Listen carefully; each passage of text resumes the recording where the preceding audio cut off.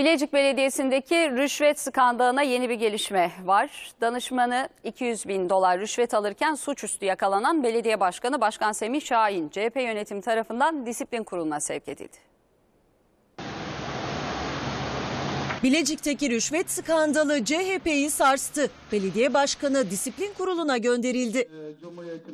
CHP'li başkan Semih Şahin'in danışmanı Selçuk Erdağ 19 Ocak'ta Bilecik Belediye Hizmet Binası'nda bir müteahhitten 200 bin dolar rüşvet alırken polisin baskınıyla suçüstü yakalandı.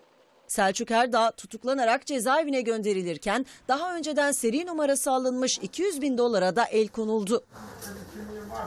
Olayın ardından CHP'li Başkan Semih Şahin'den hiçbir açıklama gelmedi. Üstelik Şahin'in yönetimindeki belediyenin müteahhitleri haraca bağladığı, esnaftan rüşvet olarak karides ve sucuk aldığı ortaya çıktı.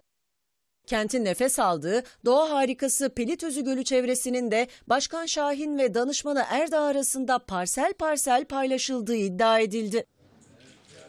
İşte tüm bu yaşananların ardından CHP yönetimi adı rüşvet skandalına karışan Başkan Semih Şahin'i Yüksek Disiplin Kurulu'na sevk etti. Açıklamayı CHP Genel Başkan Yardımcısı Seyit Torun yaptı.